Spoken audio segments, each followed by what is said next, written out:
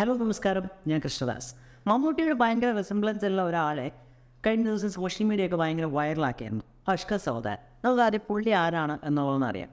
വെള്ളിത്തിരയിൽ മാത്രമല്ല സോഷ്യൽ മീഡിയയിലും മീഡിയയിലും ഒക്കെ മമ്മൂട്ടി എന്നും ഹിറ്റാണ് എന്നാൽ കഴിഞ്ഞ രണ്ട് മൂന്ന് ദിവസമായി സോഷ്യൽ മീഡിയയിൽ ഹിറ്റായിട്ടുള്ള മറ്റൊരാൾ. അതും മമ്മൂട്ടിയുടെ കുടുംബത്തിൽ നിന്ന് തന്നെയുള്ള ഒരാൾ. മറ്റാരുമല്ല അഷ്കർ സൗദാൻ. കഴിഞ്ഞ രണ്ട് ദിവസമായിട്ട് സോഷ്യൽ മീഡിയയിൽ എവിടെ നോക്കിയാലും അഷ്കറിന്റെ മുഖമാണ്.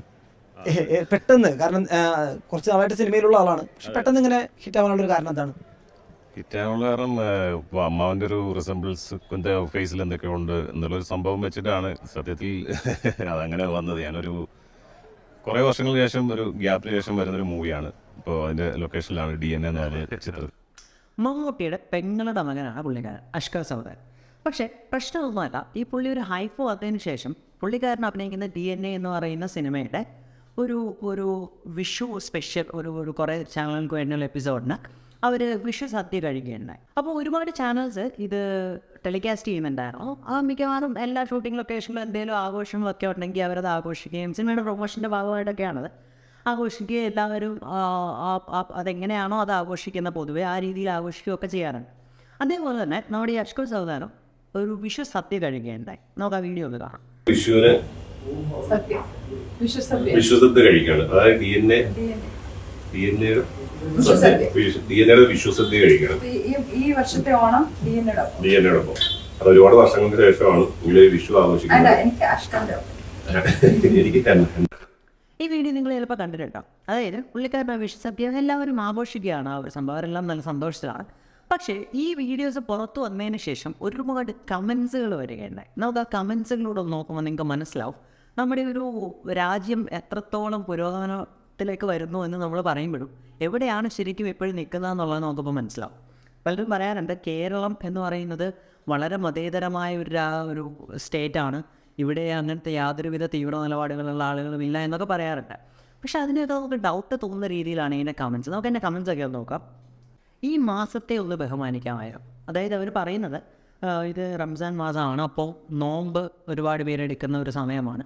അതുകൊണ്ട് തന്നെ ഇദ്ദേഹം ഫുഡ് കഴിച്ചത് ശരിയായില്ല എന്നുള്ളതാണ്. ഈ കമൻസ് ഞാൻ ഇതിന്റെ ഇടയിൽ കാണിച്ചുകൊണ്ടിരിക്കാം. എവിടെയാണ് ഇപ്പോഴും നമ്മൾ നിൽക്കുന്നത്? അതായത് പുള്ളിക്കാരൻ ഒരു ഇസ്ലാം മത വിശ്വാസി ആയിരിക്കാം അല്ലെങ്കിൽ ഇസ്ലാം മതത്തിൽ പൊതുവെ യൂസ് ചെയ്യുന്ന പേര് ഉപയോഗിക്കുന്ന ഒരാളായിരിക്കാം എന്തോ ആയിരിക്കാം. അല്ലെങ്കിൽ ചിലപ്പോൾ വിശ്വാസി അല്ലായിരിക്കാം. പക്ഷെ അദ്ദേഹം ഭക്ഷണം കഴിക്കുന്ന ചോദ്യം ചെയ്യാൻ നമുക്ക് എന്താണ് അധികാരമുള്ളത്? ചിലർ പറയുന്നുണ്ടായിരുന്നു ഒരു മറ വെച്ചിട്ടെങ്കിലും നിങ്ങൾക്ക് കഴിക്കാമായിരുന്നു. മറ വെച്ച് കഴിച്ചാൽ നിങ്ങൾക്ക് ഈ പുണ്യമാസത്തിന് വില പോകില്ലേ അങ്ങനെയാണോ പറയുന്നത്. എനിക്കറിയില്ല. അതുപോലെ തെറുവിളിയോട് തെറുവിളിയാണ്. ഏത് ചാനൽ എടുത്തു കഴിഞ്ഞാലും അതിന്റെ അടിയിൽ പൂര തെറുവിളിയാണ്. അങ്ങനെ തെറുവിളിച്ചുകൊണ്ടിരിക്കുകയാണ് എല്ലാവരും. ഈ ഫുഡ് കഴിക്കുന്നതിനും റംസാൻ മാസത്തെ അങ്ങ് ബഹുമാനിക്കാമായിരുന്നു മറ വെച്ചിട്ട് കഴിക്കാമായിരുന്നു. അല്ലെങ്കിൽ ചന്ദനക്കുറി തൊട്ടതിന് നിങ്ങൾ ചന്ദനപ്പൊരി തൊട്ടതിന് നിങ്ങൾ ചന്ദനപ്പൊരി തൊടാൻ പാടില്ലായിരുന്നു. നിങ്ങൾ എന്താണ് മാമനെ കട്ടുപടിക്ക് ഇത്ര അടക്കവും ഒഴുക്കവും ഇല്ലാത്ത ഒരാളാണ് എന്നൊക്കെ പറയുന്നുണ്ടായിരുന്നു. കുറച്ച് നാൾ മുന്നേ പർദ്ദയുടെ ഒരു ഇഷ്യൂ വന്നപ്പോൾ ഈ പറഞ്ഞ ആളുകളൊക്കെ തന്നെയാണ്. അതൊരു ചോയ്സാണ് അത് എന്താ പറയുക ഡ്രസ്സ് ഇടുന്നത് ആൾക്കാരുടെ ചോയ്സ് ആണെന്ന് പറഞ്ഞത്. അപ്പോൾ ഫുഡ് ആൾക്കാരുടെ ചോയ്സ് അല്ലേ? ബീഫ് ബാനൊക്കെ വരുമ്പോഴത്തേക്ക് ഒരുപാട് പേര് ചോദിക്കുന്നുണ്ടായിരുന്നു ഫുഡ് ഒരു ചോയ്സ് അല്ല എന്നുള്ളത്. ശരിയാണ് ഫുഡ് ചോയ്സ് ആണ് ഡ്രസ്സ് ചോയ്സ് ആണ് എല്ലാ ചോയ്സ് ആണ്.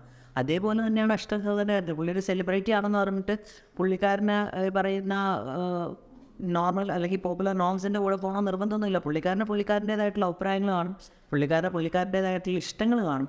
അല്ലെങ്കിൽ പുള്ളിക്കാരന്റേതായിട്ടുള്ള കാര്യങ്ങൾ കാണും. അതിനെന്തിനാണ് ബാക്കിയുള്ളവർ ഇടപെടുന്നത്? പുള്ളിക്കാരനെ നോമ്പ് എടുക്കണമെങ്കിൽ എടുത്താൽ പോരെ. നോമ്പ് എടുക്കണമെങ്കിൽ പുള്ളി എടുക്കണ്ടല്ലോ. ഇത് ചോയ്സ് അല്ലേ?